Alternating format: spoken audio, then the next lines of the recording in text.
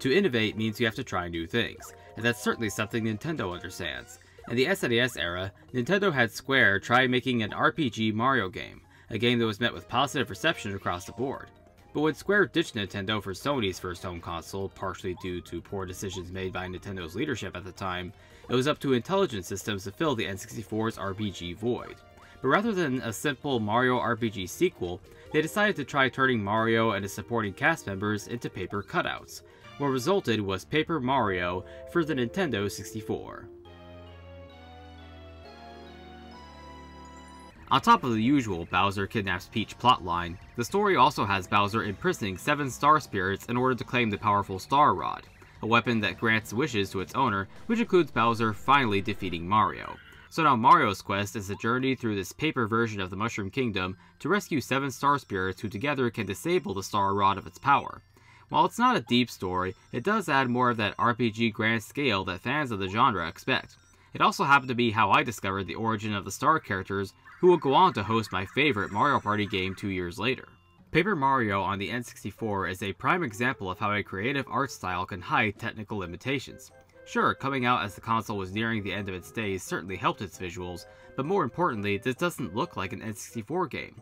You don't see blocky 64-bit characters with muddy, textured environments. Okay, in all fairness, some of the outlines are pretty blurry, but mostly what you see is an arts and crafts world running at a smooth frame rate so players can just be immersed in this imaginative world.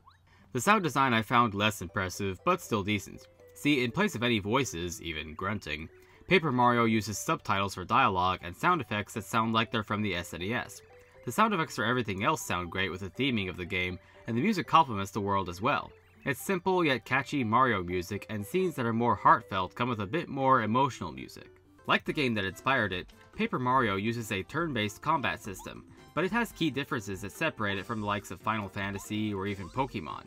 First of all, the points, attack, health, etc., all work with small numbers as opposed to larger numbers found in other turn-based games.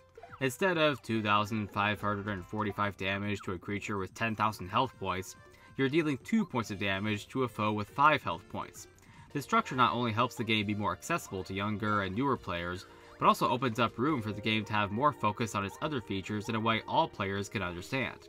One of those features that I like is being able to get a small amount of damage dealt at the start by attacking foes in the world as a way to start the turn-based battle, but that's also balanced with them being able to do the same to you if you don't have good reactions.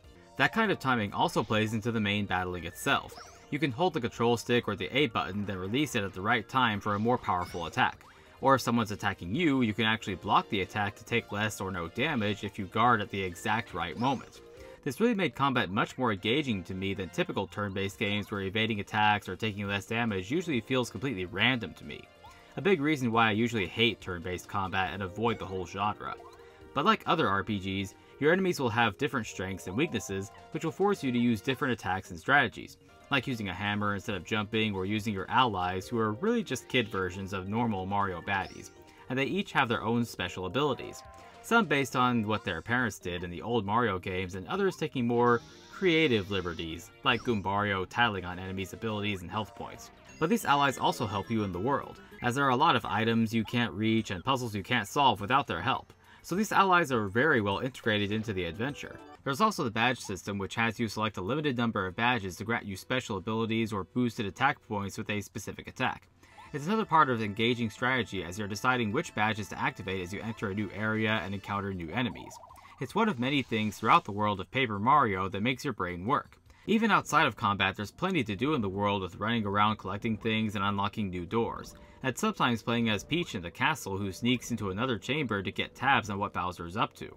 It all creates a good balance so that the combat is engaging but walking through the world feels like there's a purpose as well. Copies of the N64 original tend to go for $30, a decent price if you're a big RPG fan. But it's also available on Nintendo Switch Online for people who have the expansion pack and are curious to just try this game out. If you do have the expansion pack, that's the best way to play this game, but it is worth playing. And that's my review of Paper Mario for the Nintendo 64. To help me produce more videos like this, please support my Patreon page. Special thanks to my current patrons here. If you like this review, check out my previous reviews of these other N64 classics. Super Mario 64, and Yoshi's Story. See you all next time!